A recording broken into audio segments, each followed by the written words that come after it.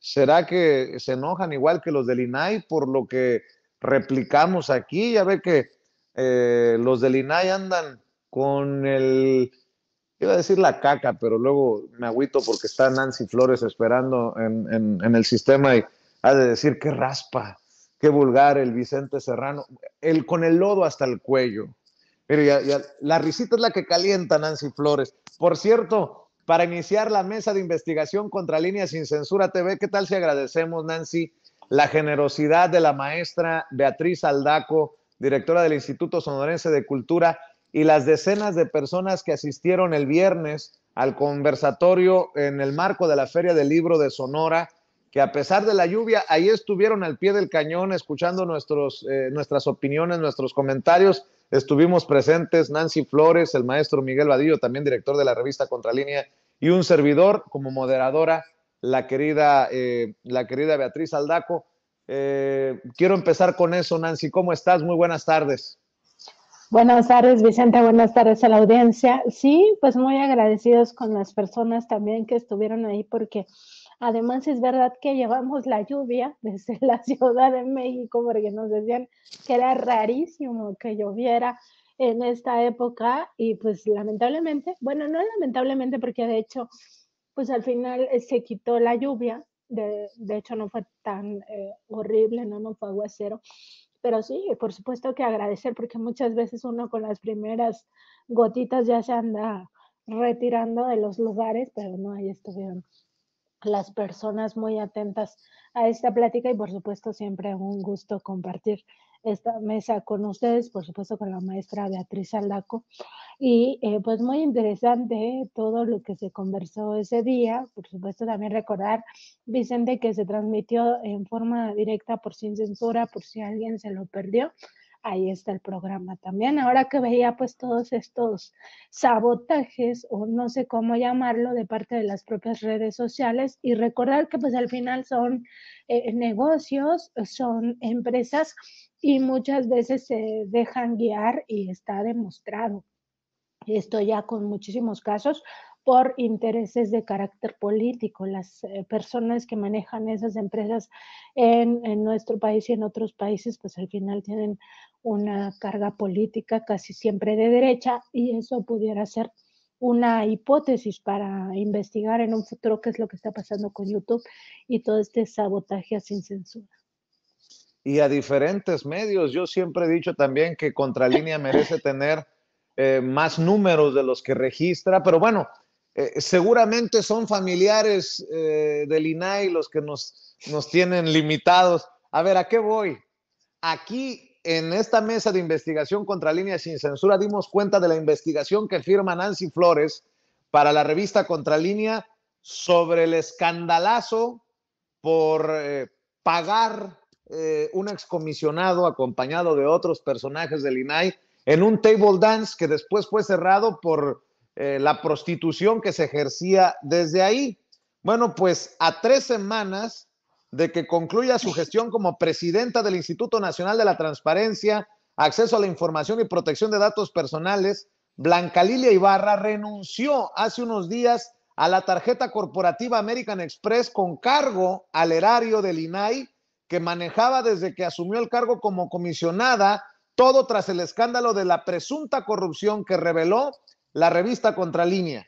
Como se recordará, este semanario Contralínea documentó que en agosto de 2014, el entonces comisionado del INAI, Oscar Guerra Ford, realizó tres cargos a la tarjeta corporativa del instituto en un table dance, en un tugurio, pues, clausurado en 2018 por trata de personas en su modalidad de prostitución.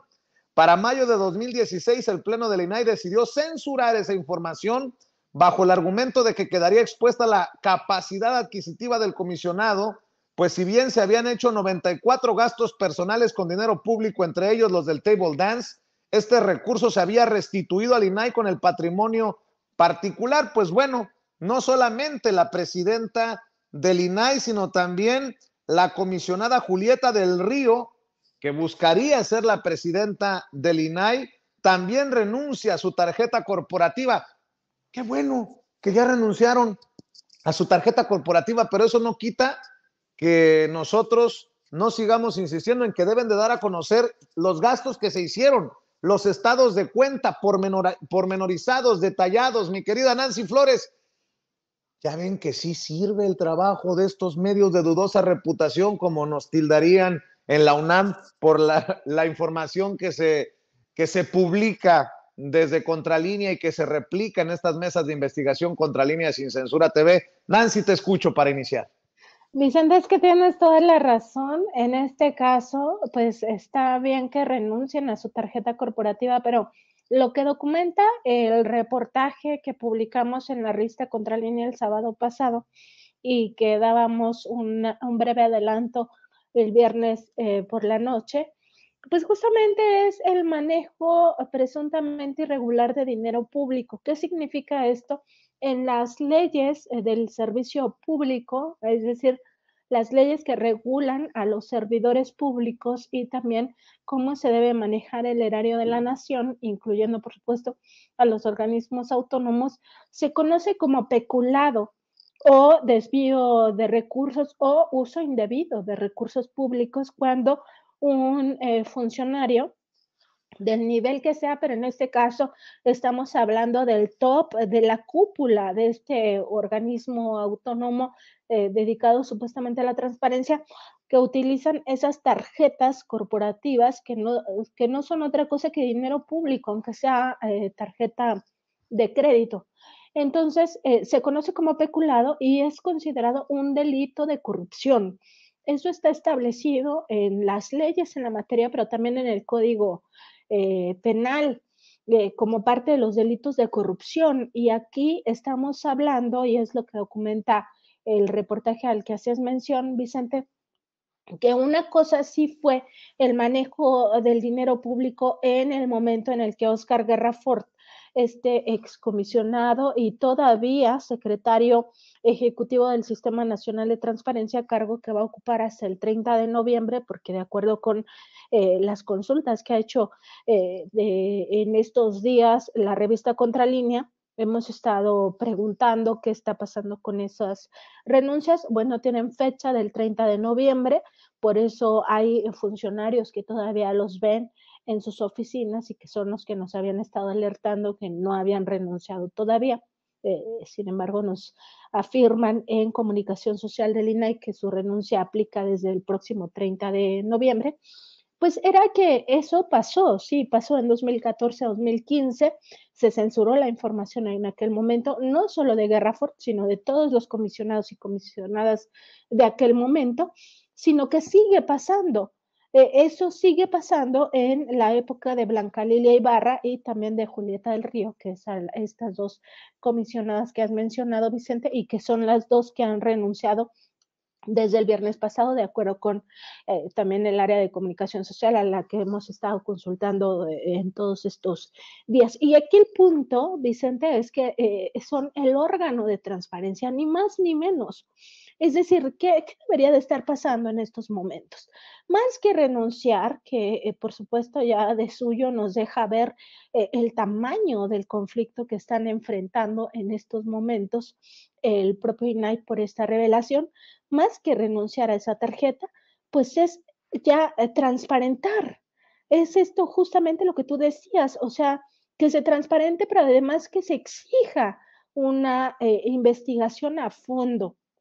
el Consejo Consultivo del Instituto Nacional de Transparencia es lo que les ha solicitado ya a los comisionados y comisionadas, que este consejo, hay que recordarlo, es un consejo ciudadano, que en su momento también Contralínea reveló que estaba asociado con este otro Consejo Nacional de Litigio Estratégico donde participa Claudia X González, más allá de ese otro tema que, que también no hay que olvidarlo. Ese Consejo Ciudadano estableció o pidió más bien a los comisionados y comisionadas que ya eh, ordenen o, pidan al órgano interno de control una eh, investigación exhaustiva que abarque todos los periodos, o sea, desde 2014 hasta la fecha, y eso sería lo importante, y que se determinen responsabilidades, porque esto, como lo decimos, en las leyes se conoce como peculado, como desvío de recursos, como uso indebido de recursos públicos, y todos habrían incurrido en ello. ¿Por qué lo digo? Porque una vez que nosotros estábamos haciendo la confrontación de la información ante el INAI, tema que además, voy a decirlo, nos tomó cinco semanas previas a la publicación porque había mucha resistencia en hablar sobre este tema pero los periodistas de investigación sabemos que no podemos salir sin esa contrastación de, los datos, o sea, no podemos lanzar la información así como, como sin nada, porque primero pues hay que corroborar que la información sea cierta y no seamos rehenes de las fuentes informativas, y segundo, porque es importante también conocer todo el panorama, y justamente conocer todo el panorama nos lleva a revisar que eso está sucediendo ahora. Entonces hay un discurso, una narrativa los comisionados actuales como de decir, bueno, eso pasó en eh, hace muchos años, hace siete, ocho años, eh, no nos tocó a nosotros,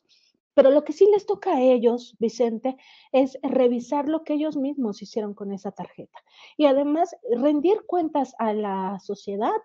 precisamente porque son los que deben de dar el ejemplo de transparencia. Y este es el punto nodal de este tema y por qué están tan, eh, digamos, viviendo una situación tan compleja en estos momentos en el INAI, pues justamente porque ellos no quieren que sepamos en qué están gastando esos dineros. Y no es que se esté diciendo aquí que todos los comisionados y todas las comisionadas asistieron a Table Dance, donde eh, se comete trata de personas en su modalidad de prostitución. No, eso ya está demostrado en el caso de Guerra Ford. Él mismo eh, señala que pues cuando asistió no sabía que en ese lugar se cometían estos delitos y tal. Eh, es parte de la entrevista que nos otorgó vía escrita, es la única manera en que aceptó hablar con Contralínea, pero más allá de eso, cualquier gasto indebido es de suyo grave, o sea, no importa si van a un table dance o si pagan el súper con ese dinero público o si se compran ropa o si pagan colegiaturas o si están pagando el gas de su casa, o sea, no importa en qué se lo estén gastando, sino el hecho de estar utilizando recursos públicos para aspectos de su vida privada. Ya de por sí se les pagan salarios muy altos, el INAI nos cuesta mil millones de pesos anuales y aún eh, en esta tesitura, aún con estos gastos brutales para eh, el erario nacional, eh, pues se cometen este tipo de arbitrariedades, porque también no hay otra manera de revisar qué está pasando ahí, si no es una arbitrariedad un presunto ilícito y eso por una parte debería de estar investigándose y por otra parte debería estar transparentándose ya en este momento, Vicente. Vaya caso, ¿no, eh, querida eh, Nancy? Eh, habría que esperar también si va a haber más renuncias, ya no digo a la tarjeta del INAI, sino renuncias a los puestos por el escandalazo. estamos esperando que se confirme la lista de asistentes a ese table dance y que nos digan quiénes están todavía en funciones, porque si Guerra Ford renunció, uno se imagina, bueno, son dos excomisionados ahora que han renunciado, uno se imaginaría que si hay otros eh, que asistieron a eh, esta fiesta casi, casi infantil, nótese mi sarcasmo, pues que también se vayan, eh, Nancy las revelaciones de ese reportaje, Vicente, porque eh, como parte de las respuestas eh, que nos da justamente eh, el excomisionado y actual secretario ejecutivo del Sistema Nacional de Transparencia, pues justamente está esta parte que tiene que ver con el hecho de que él dice, no fui el único, fui acompañado de otros eh, compañeros de trabajo. Se entiende que sus compañeros de trabajo pues son personal del Instituto Nacional de Transparencia. Por supuesto, ha habido ya filtración de nombres. Nosotros no hemos dado a conocer nada de lo que nos ha llegado en tanto no lo documentemos, porque también sería irresponsable pues estar soltando eh, nombres a diestra y siniestra, pero el tema es si esos eh, servidores públicos de aquel momento siguen en funciones actualmente, si eran también del eh, rango de eh, este comisionado, es decir, si eran otros comisionados del INAI en aquel momento que ocupaban este mismo cargo como Oscar Guerrafort. En este caso, pues el otro que renuncia es el excomisionado eh, eh, Rosendo Efgeni Monterrey. Eh, Chepop, que en aquel momento era comisionado del INAI y que ahora es otro de los secretarios ejecutivos del propio Instituto de Transparencia y eh, renuncia porque pues en aquel momento tuvo que ver con el caso de forma directa. Al votar está su voto en los documentos que hemos compartido también en esta mesa de investigación contra líneas sin censura, donde ellos mismos censuran estos gastos personales de sí mismos y de eh, el caso de Oscar Guerrafort. Entonces, en este punto, Vicente, la cosa es que eh, también sería importante, como el propio eh, Oscar Guerrafort nos decía que asistió con otros ocho eh, compañeros de trabajo, eh, pues que se da a conocer quiénes son. Eso también ya tiene que clarificarse en estos días y no vemos por qué pues estén a cuentagotas transparentando los datos, Vicente, porque aquí pues está en juego no solo, digamos, la palabra de cada uno de los comisionados, sino la eh, propia institución. O sea, el mismo Oscar Guerrafort, eh, en una llamada, sostuvimos dos llamadas telefónicas previa que aceptara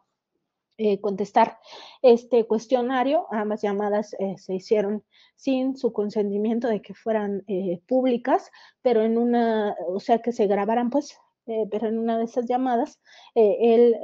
señala, y eso lo pongo en el cuestionario, por eso lo hago público, señala que esto va a dañar la imagen del INAI. Y entonces yo le pregunto en ese cuestionario público que eh, pues él indicaba que se iba a dañar la imagen del INAI, entonces que eh, si ya había hablado con Blanca Lilia Ibarra, la actual comisionada presidenta de este instituto, él decía que no, pero que estaba eh, seguro de que ella ya tenía conocimiento del tema porque el director de comunicación social, Arbizu, pues ya le había dicho a la presidenta, a la comisionada presidenta. En todo este periodo de cinco semanas, que ya esta semana cumpliría seis semanas, nosotros en Contralínea hemos insistido en que Blanca Lilia Ibarra de la cara, o sea que eh, así como el INAI es el órgano de transparencia y a ella le gusta mucho estar eh, pues presente en los medios de comunicación, ¿no? Hablando y todo este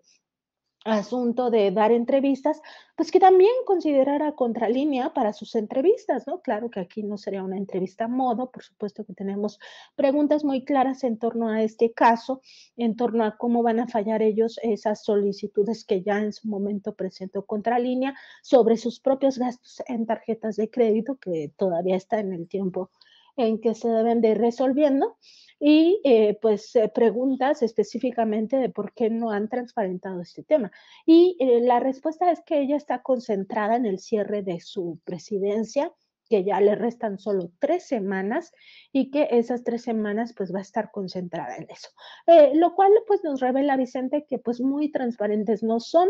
muy dados a la rendición de cuentas tampoco. Todo este discurso de que ellos son el órgano garante de derecho humano a saber pues se les cae a pedazos a, o después a posteriori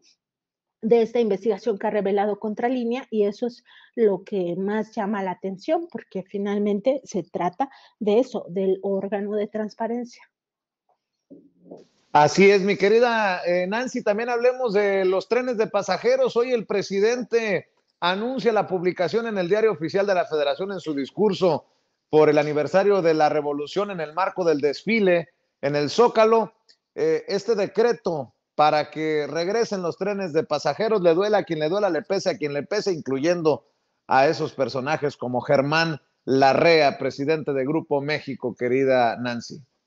Vicente, y fíjate que es un decreto eh, presidencial muy importante eh, que se publica hoy en el Diario Oficial de la Federación. El presidente ya lo había eh, venido anunciando como tú bien lo estás recordando y pues hoy finalmente se lanza este decreto con el que se abre la posibilidad ya de que vuelva a haber transporte ferroviario de pasajeros. Y esto es fundamental primero por lo que va a significar para el desarrollo del país y segundo, porque al mismo tiempo se va a garantizar un transporte seguro, eficiente y también eh, eh, pues bajo en contaminación, porque lo que se espera es que los actuales concesionarios o los futuros concesionarios o incluso si son la Serena y la Marina las que operen estas vías en caso de que los actuales concesionarios rechacen esta propuesta, pues es que cambien todas estas vías por un transporte eléctrico. Y aquí lo importante, me parece, son varios puntos que podemos destacar de este decreto presidencial. Primero, la fecha en la cual ocurre un 20 de noviembre, en este caso de 2023, a menos de un año de que el presidente López Obrador ya deje el cargo de presidente de la República, eh, se hace a partir de una cláusula que fue dejada ahí, pues, eh, digamos, como, eh, como un tema que ellos pensaban que nunca iba a ser utilizado. O sea, lo dejan ahí, dejan esa cláusula pensando que nunca iba a llegar un gobierno que viera por eh, pues este sistema eh, de transportación de pasajeros como una posibilidad de reactivar la industria ferroviaria. Y entonces dejan ahí esta cláusula eh, pues pensando, pensando justamente esto, y esa cláusula dice que el Estado nunca pues iba a renunciar a estas eh, atribuciones, ¿no? De promover el desarrollo y cumplir su responsabilidad social. Eh, y ahí, en los límites de los derechos de la concesión, justamente es donde está esta cláusula, donde dice que tras, tratándose del servicio de pasajeros en cualquier tiempo, se pueden dar estas concesiones a terceros. Y los concesionarios están obligados a otorgar el derecho de paso o derecho de arrastre a las personas a quienes de conformidad con lo dispuesto en el numeral de este decreto eh, se otorgue la concesión eh, por parte de la Secretaría de Comunicaciones y Transportes y en ese sentido pues se rompe ya esta em, trayectoria que eh, venía ocurriendo en el ámbito de la privatización y dejar todas estas áreas estratégicas al eh, empresariado. Como bien señalas, el Grupo México pues tiene la mayoría de las concesiones ferroviarias, entonces eh, es uno de los principales grupos, pero no el único. Y también en este decreto me parece importante rescatar, Vicente, eh, y a la audiencia de Sin Censura, que señala muy particularmente eh, el caso de la privatización. O sea, se hace una crítica importante eh, y lo considera literalmente, lo voy a citar, realmente una desgracia, así dice, realmente una desgracia, el que el presidente Ernesto Cedillo Ponce de León continuador de la política salinista haya privatizado los ferrocarriles de México. Al respecto, pues este decreto presidencial recuerda que el 2 de marzo de 1995, y estas fechas son muy importantes, Vicente, porque eh, es importante conocer en qué momento se daba esta privatización, 2 de marzo de 1995, es decir, apenas tres meses se cumplían de que Ernesto Cedillo había asumido la presidencia de la República y que estábamos inmersos en el llamado error de diciembre. Ya eh, teníamos eh, pues dos meses de cargar con esta crisis eh, monumental financiera que llevó a la privatización de los recursos públicos por la vía del FOAPROA eh, muy lamentable, porque como ya sabemos, eso ha costado 3 billones de pesos, pero en ese contexto de lo que la periodista canadiense Naomi Klein denomina el shock, el shock que aprovechan eh, pues estos gobiernos antipopulares, estos gobiernos privatizadores ultra neoliberales, pues en ese shock social que se vivía en aquel momento por la crisis económica derivada de ese llamado error de diciembre, que todas las personas estaban perdiendo trabajo, estaban perdiendo sus casas, estaban perdiendo sus coches, pues porque la crisis eh, golpeó muchísimo a, la población eh, en aquel momento y solo se rescató, y eso no hay que olvidarlo nunca, a los de arriba, es decir, a los banqueros, a las grandes transnacionales, pues eh, en esa crisis es justamente cuando se publica ese 2 de marzo de 1995 en el Diario Oficial de la Federación la reforma al cuarto párrafo del artículo 28 constitucional que sustituía en aquel momento el régimen de participación exclusiva del Estado en los ferrocarriles a fin de permitir la participación de privados mediante el otorgamiento de concesiones. Muy importante recordar este episodio que nos llevó entregar eso a la industria privada. Y muy importante también revisar que por alguna razón dejaron esa cláusula y ahora se aprovecha para reactivar justamente este transporte que va a ser seguro, eficiente, eh, poco contaminante y que por supuesto va a reactivar muchísimas zonas del país, pues por el paso de estos ferrocarriles, Vicente, que yo creo eh, en un estimado de unos cinco años ya estará eh, pues prácticamente todo el país comunicado de esta eh, manera. por supuesto que habemos quienes no nos tocó viajar en tren, hay personas a las que sí les tocó y que pues con mucha añoranza ven esta oportunidad de que el transporte de personas por la vía férrea pues se esté reactivando a partir de hoy. Claro que sí, querida Nancy, nada más eh, mientras nos eh, encaminamos hacia la recta final de esta mesa de investigación contra líneas sin censura, si se llega a desconectar eh, mi dispositivo a este, en este momento con, muy, con carga muy baja, les pido por favor que me tengan un poquito de paciencia para activar mi otro dispositivo. Les adelanto porque ya me ha pasado en diferentes ocasiones, pero bueno, ya que estamos en estas cosas, el papel de los medios de comunicación vuelve a ser eh, importante en un proceso electoral en América Latina.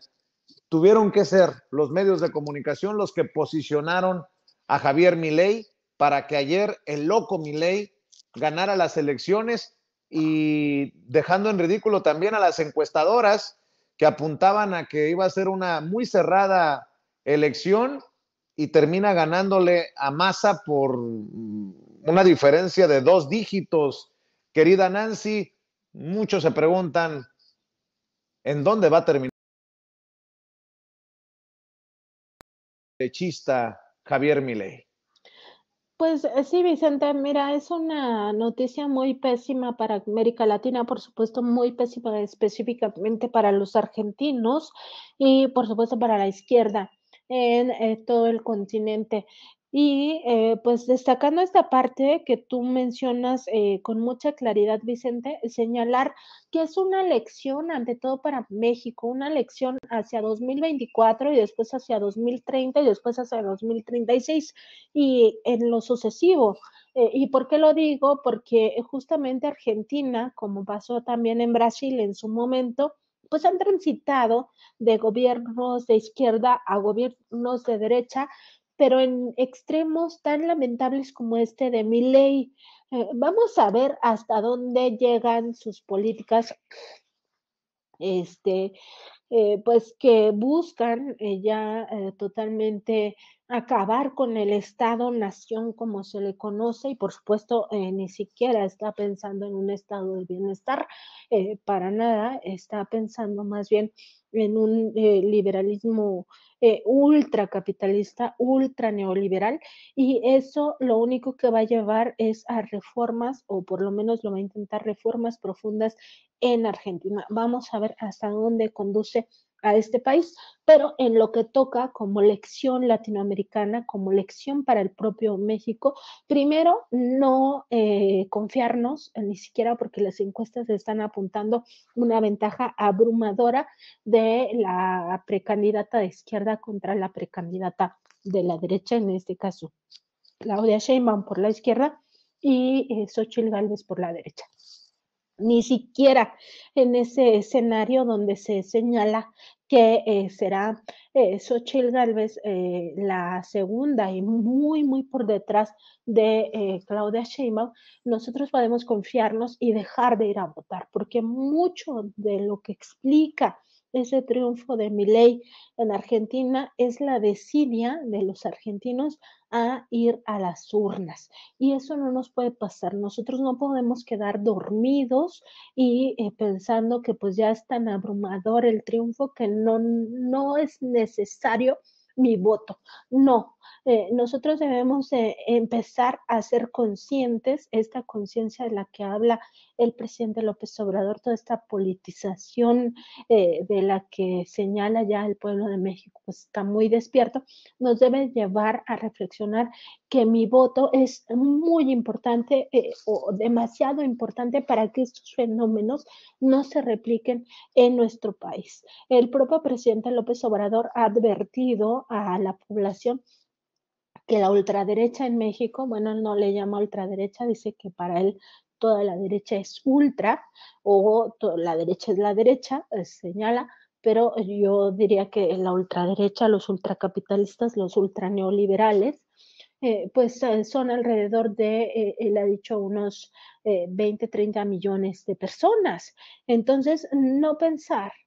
que ellos no se van a movilizar porque también están viendo los números muy por debajo. Al contrario, pensar que esos millones de votantes eh, pues pueden movilizarse y pueden hacer un desajuste en eh, el futuro de nuestra nación. Entonces a mí me parece que sí, la elección es fundamental entenderla, primero razonar que nuestro voto es fundamental para el proceso democrático que estamos viviendo, para el proceso que nos está guiando hacia un eh, gobierno humanista, un gobierno que vea por las mayorías desprotegidas. Y en segundo punto, eh, pues sí tener en cuenta que no podemos eh, quedarnos, pues como se dice ahí, durmiendo en nuestros laureles, porque al final nos pueden acabar pasando algo similar a esto que está viviendo Argentina. Eh, me parece a mí que después de la primera vuelta, eh, muchos no creían que mi ley consiguiera lo que acabó pasando en Argentina este fin de semana y aún así ocurrió. Entonces, la elección es muy clara para los países latinoamericanos que están eh, pues propugnando por gobiernos vamos a decir, gobiernos que están privilegiando a las mayorías gobiernos que están eh, privilegiando eh, este progreso o que se les conoce como progresistas porque están eh, viendo siempre primero la fortaleza del Estado-Nación, segundo que ese Estado-Nación tenga como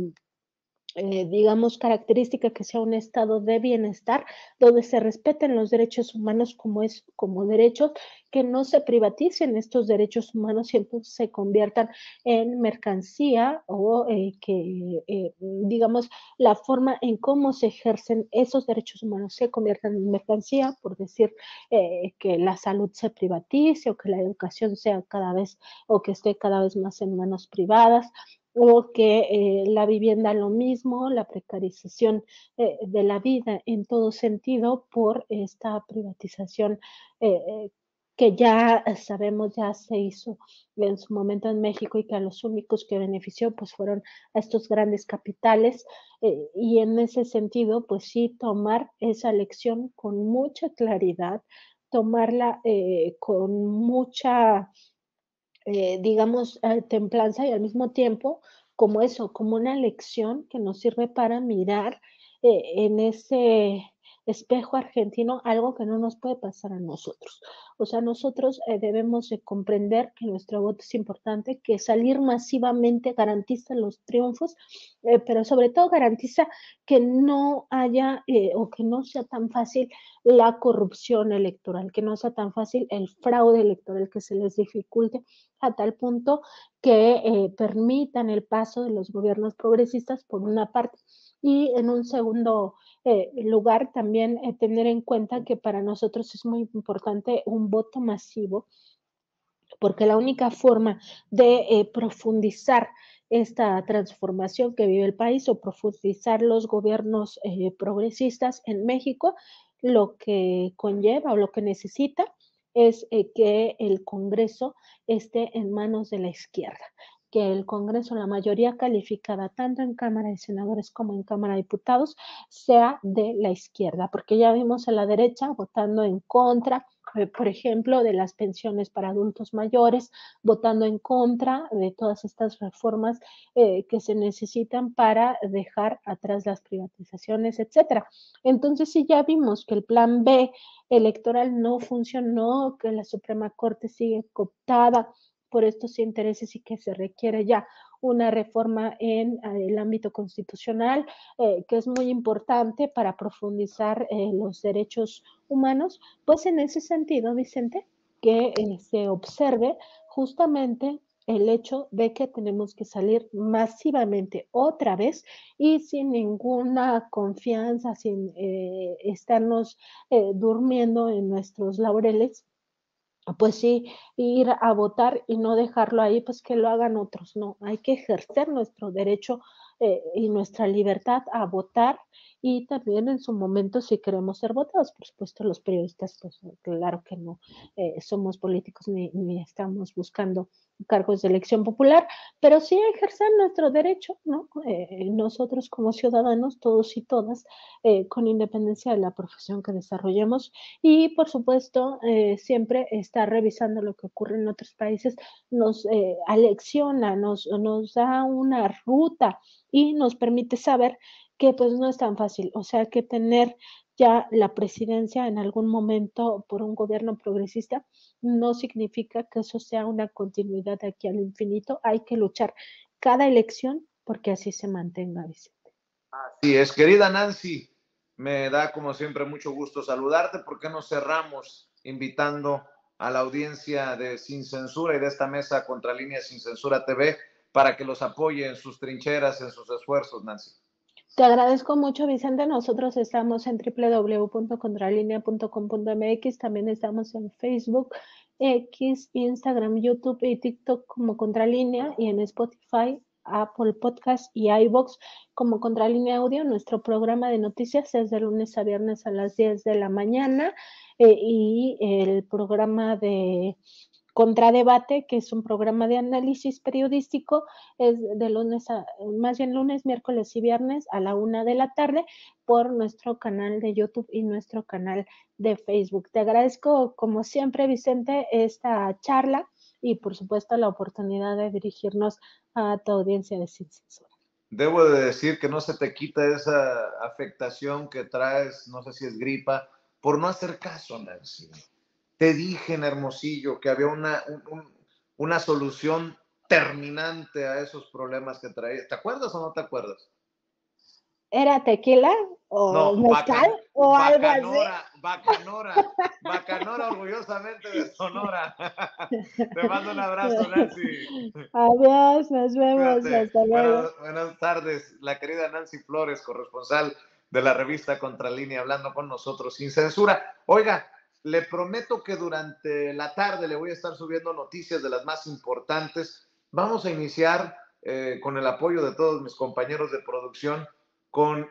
pequeños segmentos en los conocidos como shorts o cortos. Ahí le voy a estar subiendo toda la información que me hace llegar nuestro jefe, nuestro jefe de información, Mario Toledo. Así que le pido que nos apoye. Eh, en otras palabras, podemos no estar en vivo y en directo, pero si usted revisa nuestros videos, nuestros shorts, va a encontrar más información, más contenido que después puede compartir con familiares y amigos si no es mucho pedir. Por lo pronto, muchas gracias. Ahí vienen nuestros compañeros. Está resentido ya esta hora con el eh, querido Jonathan Pérez, me imagino, ¿no? Sí. Este, también eh, continuamos con más eh, contenido durante la tarde, durante la noche. Por lo pronto, que Dios me los bendiga, que Dios nos bendiga a todos. Provechito a usted que va a comer